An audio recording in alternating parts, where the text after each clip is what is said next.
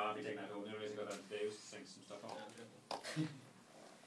But it kind of like mine's. I was kind of like using it so much. I was like pedaling it into the ground. At least now I will be able to work on that for work. And right, I see something that could improve that, may I? If you flip the red one around so the two buttons are there, so you can just press the two at the same time. Then you can just flip the image in, in Final Cut.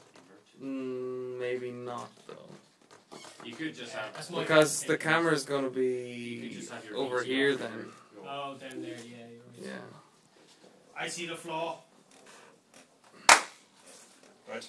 Slav, do something really interesting. Yeah, I was asking too much.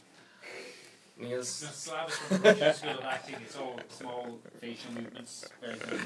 little little gestures. You can do like a 3D still. Right, that's a minute. to step into the camera. Some German yeah. Wait, wait. You stab slightly short of the camera. Uh, I can't step into the camera. That would ruin. Slightly short of the camera. Go on. Left or right? Boring. That should make for some interesting viewing.